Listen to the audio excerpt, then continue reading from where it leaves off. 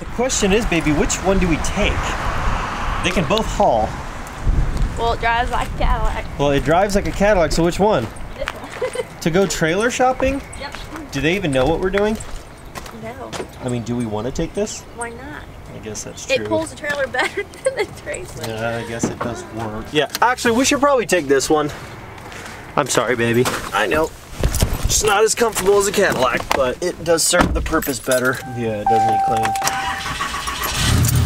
It, uh, it's been my daily, and I don't know. I keep it Boys have been in here. what is up everybody and welcome back to another video here on Loud and Proud. So today we are actually going to be hopefully trailer shopping. Well, we are going to trailer shop. I don't know if we're going to buy a trailer today or not. We might because there's a truck we might go pick up for her and I also want to have a trailer to be able to haul my dad's tractor over if I need to rent it off him for the day. We always just need a trailer for that we don't have a trailer for. So like I rented one for a couple days and it was like a couple hundred bucks for just three days of rental. I'm like, holy crap. I'm like, if I have to rent a trailer every time that she can't come with me, I could basically buy a trailer by the end of the year almost. So I'm like, okay, we should just look for a good car hauler style trailer. Like I'm guessing a 20 footer. We're gonna go over to the barn. Actually, gotta make sure I don't forget. We gotta go over to the barn, take some measurements of the width of a lot of our trucks and kind of see like a general width of what we need in terms of deck surface width, just to make sure there's no like trailer, you know, fenders in the way or something like that to where a truck can't fit in between. I think most of them, a standard is 82 inches wide. It just depends on if you find one that has the wheel wells like above the deck or if the wheels are below the deck to where then you have more width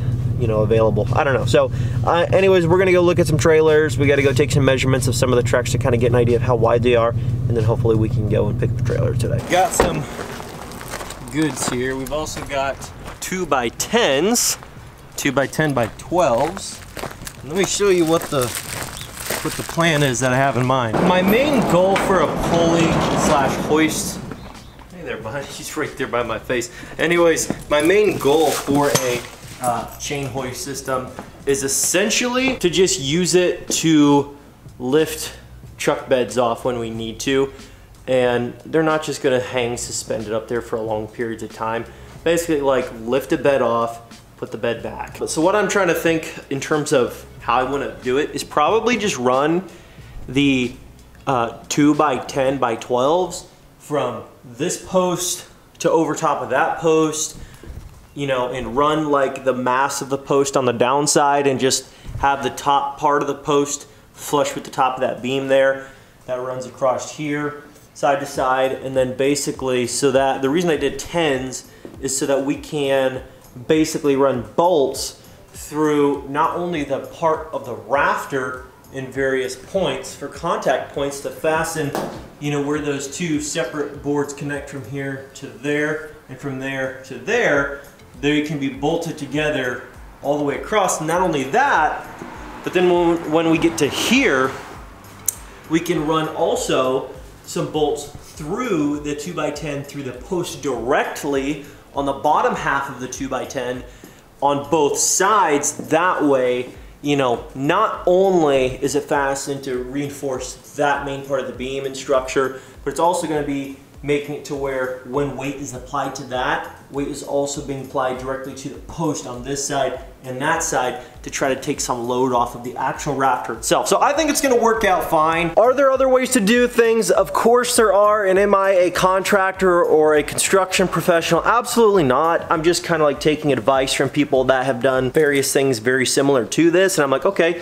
that sounds like a pretty good idea, and I think that would work. I'm going to attempt to fasten up at least one of these boards right now. Keep an eye on me. Let me know if you think I'm gonna fall. It's only messing. I'm not gonna be able to hear you guys. See if we can get her up.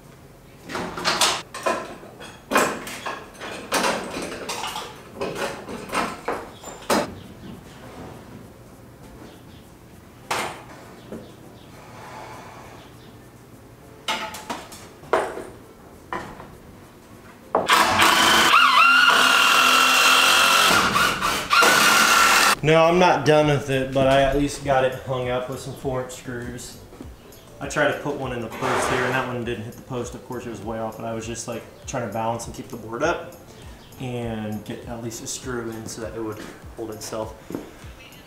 But the goal with this babe is going to be to drill some holes through the posts so that like this beam going across is fastened to the beam as well to keep it centered.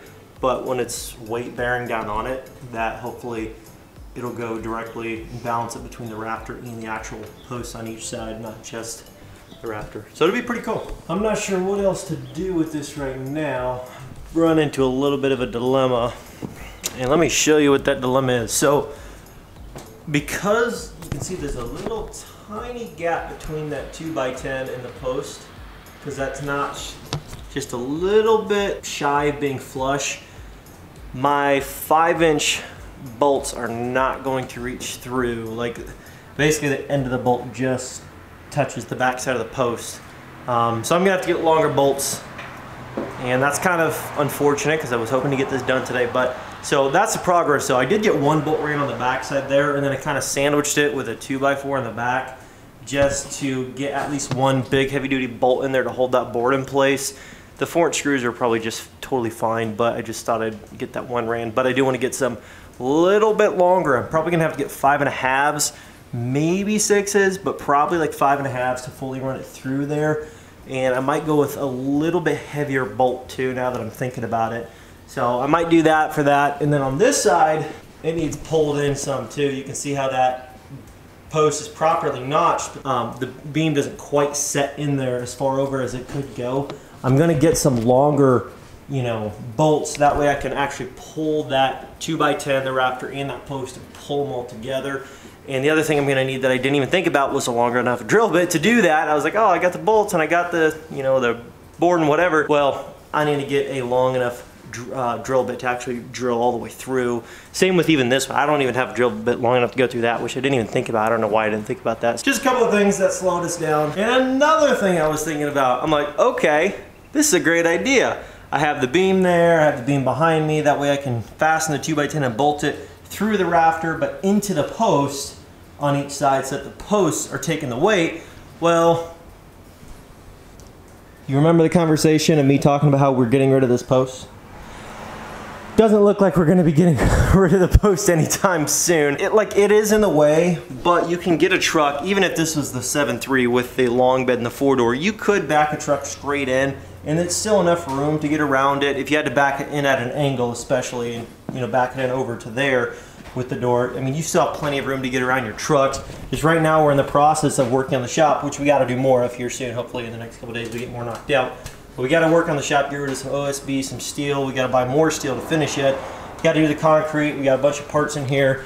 We got to get all this crap cleaned out once the shop's done as well. There's just so much to do. But when that's all done, there will be enough room on this side of the shop and here to where like, for example, the first gen, whether it be this one or the other one or whatever, you can easily back in here and swing it back and put a truck back around that post without hitting it and back it on up into there too if you're just trying to get it, you know, hide it in the shop. It's inconvenient, I'll give you that much. You can do it. You can make it work. It's just, you're just gonna have to be careful. And you're probably wondering, well, what happened to the whole buying a trailer today thing? Well, I don't know. I still might go do it. I'm not sure. I mean, you might find out in this video if I decide to go do it. I'm like, I'm like procrastinating on executing the decision. I'm one of those people that just because I can afford something doesn't mean I impulse buy it. There's a lot of people that like, if they make good money all of a sudden and they're not used to it, they just spend, spend, spend, spend, and they look like a big baller. Like, I'm not that guy. Like, I'll do things like get Reagan a nice vehicle to drive or whatever, but I won't just go like buy myself a bunch of crazy stuff just because I just hesitate when I know all the big goals that I have for like financial freedom and stuff, like through investing and real estate and all that other stuff.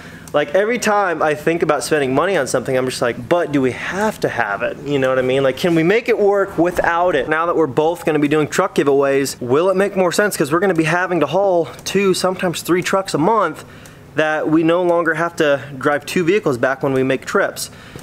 And that adds up a lot. I mean, just in diesel, now that I'm thinking about it, it adds up over the year. You know what I mean? Like having to drive two vehicles all the time. When you're going to pick up trucks or pick up stuff from paint or going to pick up a truck a couple hours away or out of state like it gets kind of tiring. And the other thing I'm thinking about too and this was the biggest I guess you could say factor for me is I'm thinking like, okay, we do have a baby on the way within the next like two and a half months. I really don't see Reagan wanting to have to drive separate and go and pick up trucks with me all the time and she's gonna have to then. She's driving separate not with me. Like if something were to happen to their vehicle or I'm ahead of them or whatever she can't get a hold of me just dumb stuff. It's like okay that makes me want the trailer so we can all just stay together as a unit, drive there together, pick trucks up together, drive home together, like stay together. It's one of those things we don't need it, we can make it work. I can rent trailers all the time crap like that because we're gonna have to do a lot of hauling coming up here soon. Or does that just like not make sense when you could just buy one and then never have to worry about driving two vehicles back and never have to worry about renting trailers for the rest of your life. I would say the investment long term would definitely be worth it. We also worked on a little thing for Reagan here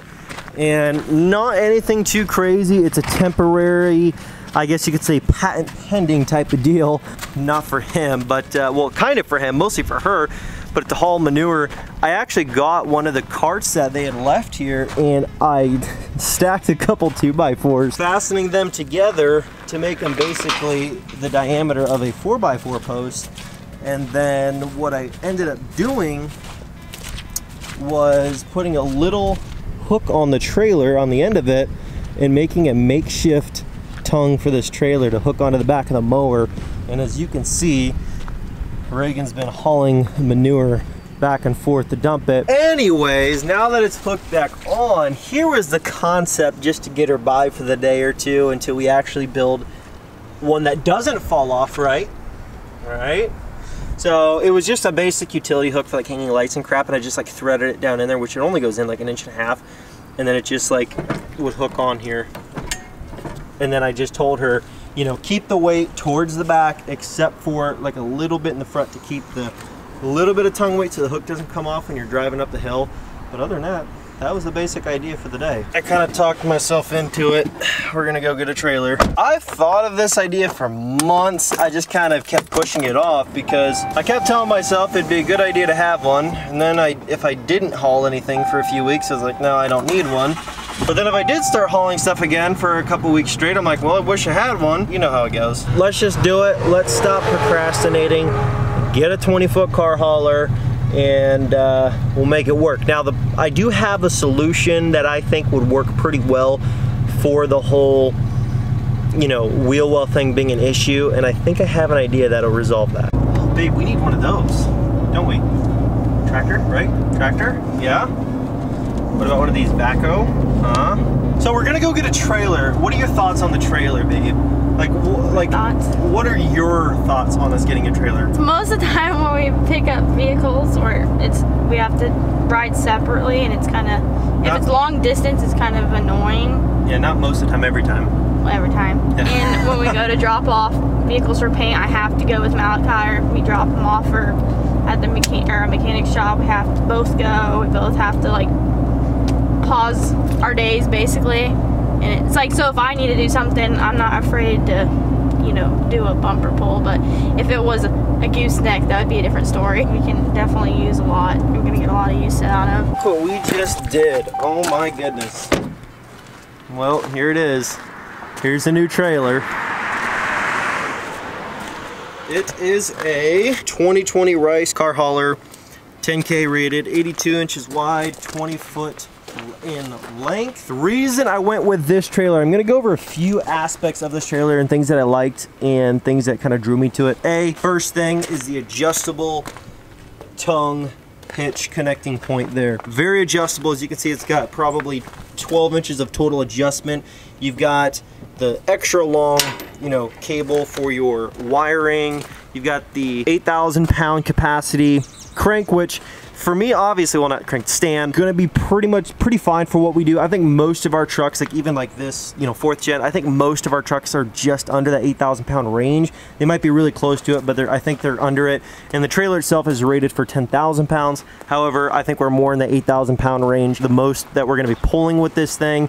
But the guy said, you can go with a 7,000 pound rated trailer. He's like, lots of guys overhaul with those. He's like, but I just wouldn't do it if I were you. He's like, I'm always the guy that's like, spend the 500 bucks more, get the trailer that's rated for 10,000 versus 7,000, just because you'd rather be a little bit more heavy duty when it comes to something like this than underweight and then uh, just overwork your trailer and suspension. So it's got the big tow hooks, I like that. And it's got this bump bar at the back, like, oops, whoop. It's got this bump bar at the back, which is nice for like when you want to try to bring a truck all the way up to and you want to like want to pull the tires up against the back of the trailer if you do have a longer truck and you can chuck the tires back behind them to keep the truck like locked in place up towards the front of the trailer. They had a lot of other trailers there that were just like flat all the way to the tongue and I just didn't like that idea. You never know if you hit your brakes for some reason, something's not strapped right. And I'd rather the truck slide back off the trailer if something's not right versus slide into the back of the truck that I'm hauling with and cause a whole nother problem. Now, you don't want either of those situations, but I'd rather it be sliding back than having the ability for the truck to roll forward and you know just create an absolute catastrophe. Lots of tie down points. Lots of tie down points along the side of the trailer. Plenty of points to connect and I, another thing I liked was how the ramps were hidden directly behind the trailer. There were a few other trailers there that were some of the cheaper stuff, and I don't know this is considered like a nice trailer or not, but it seemed really nice to me compared to the other stuff that was sitting around that just looked kind of cheap. The ramps pull straight out the back, like so, and what that allows you to do is just quickly pull them out, hook them on the back here, because they just hook on this lip and then pull your vehicle onto the trailer versus a lot of these other ramps were kind of like tucked in on the sides here and tucked up in the front or just other weird stuff which don't get me wrong that's fine. As long as it still has the storage it's fine. But for me I'd rather have the ramps directly where I'm going to be hooking them onto the trailer so it can be quick. Pull the ramp out hook it on and you hardly have to move it anywhere. Um, and then when you're done slide it on in.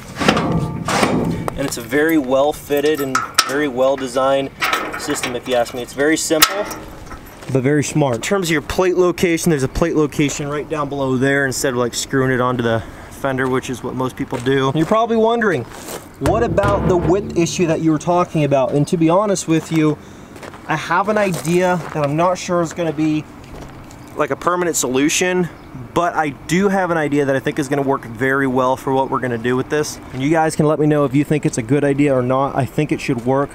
I'm thinking about getting a bunch of really small, like one by 10s. And hear me out.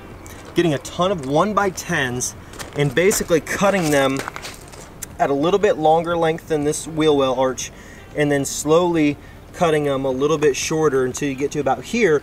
That way you can pull the truck up and most of the trucks we haul are all four-wheel drive if you have to have it in four-wheel drive so be it but then just creep up over the fender without sitting on the fender if it is a stance out truck like this fourth gen and that way you can get up over the wheel well fenders of the trailer without putting all the weight down on them and crushing them and basically just destroying them because that would just not be cool and that's not what they're for they're not supposed to be weight bearing they're just supposed to be there to protect the tires from stuff that's on the trailer. So for the people that are wondering, why not go with a gooseneck? I, for one, know that goosenecks are supposed to be safer, able to handle a lot more, all that other stuff. That's cool. I just don't like the idea of my load being up an extra, you know, 10, 12 inches higher than this. Just to me, it's just, I don't know. I, I think this will be just fine. And another thing is if we absolutely had to, and this is like last resort, if we absolutely had to,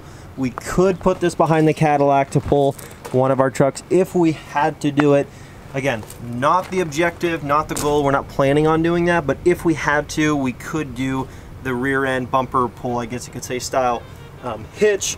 We could do that with the Cadillac because it is rated for like 9,600 pounds. If we had to do it, we could. We've already done it with, you know, another truck and trailer that was a horrible trailer setup. It was only 16 footer and it did not haul very well. But if we had to use this, with a Cadillac, we could do that as well. And if we absolutely had to at some point haul a giveaway winner's truck to them, if they're within a close enough distance where we are up to doing that, we could do that now. And before, again, I don't have any trucks with gooseneck hitches in them other than I guess that first now, but I never had any trucks with gooseneck hitches in them to use, so I couldn't really like borrow my dad's and use it. Not to mention, I like using my own equipment. That way, if anything were to go wrong, it's my equipment that I'm having to pay to fix or repair or anything. I don't like having the thought process process of having to fix other people's stuff or possibly damaging other people's stuff. Um, so if we do want to end up hauling trucks to giveaway winners that are within a closer proximity, we can always offer that as well now. Pretty much going to put a wrap on this video. A lot of different little things happened today. I wasn't sure if I was going to do this or not, but I'm like, you know what? Let's do it. Long term, we're not gonna regret having a trailer to haul all of our trucks. And I think it was just a purchase worthwhile. So anyways, guys, thank you so much for watching. Hopefully you enjoyed the video. Thank you so much for all the support. It really means a lot. If you want to win that first gen, the 8th is the last day to get your 10X entries for that truck. So on the 8th, it is your last full day to get 10x entries towards winning that truck. If you're seeing this on the 7th though, then tomorrow is your last day to get 10x entries. Anyways guys, don't waste any time. Enter win that truck plus $5,000. We'll catch you guys tomorrow. Peace. Every $5 you spend gets you 10 entries to win this truck plus $5,000 cash. It's a 1989 W350 single rear wheel, 5-speed manual, 4-wheel drive, 12 valve Cummins with only 55,000 original miles on it. So if you want to take this baby home, go to lnpgear.com and get entered today.